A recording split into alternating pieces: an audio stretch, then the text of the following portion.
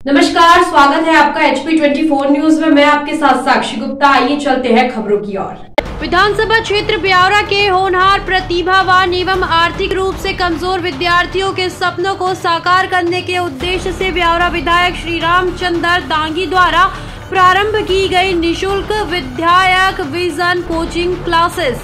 से मध्य प्रदेश पुलिस की फाइनल सूची में तेरह विद्यार्थियों एवं मध्य प्रदेश लोक सेवा आयोग के प्रीलिम्स में दो विद्यार्थियों का चयन हुआ है। आपको बता दें कि काटिया, हाट, निवासी एवं विधायक, विजन कोचिंग क्लासेस के संचालक रोहित मीना एवं वीरेंद्र मीना ने मध्य प्रदेश लोक सेवा आयोग की प्रीलियम्स में सफलता हासिल की है।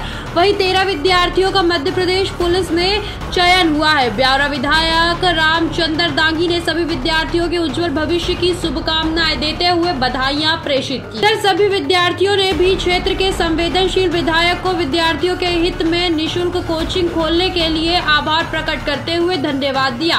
मंडावर से होकम प्रजापति की रिपोर्ट। विधानसभा में यहाँ के विद्यार्थियों के लिए विधायक विजन कोचिंग क्लासेस शुरू की थी।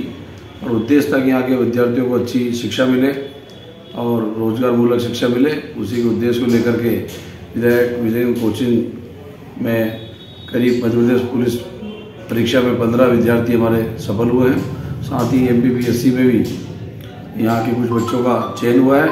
मुझे बहुत खुशी हो रही हमने जो सपना देखा था, आज हमारा वो साकार होता जा रहा और इसी को संचालन में भाई रोहित मीना जी ने अपनी महत्वपूर्ण भूमिका निभाई। उनको भी बहुत बहुत मैं बधाई, साधुवाद देता हूँ।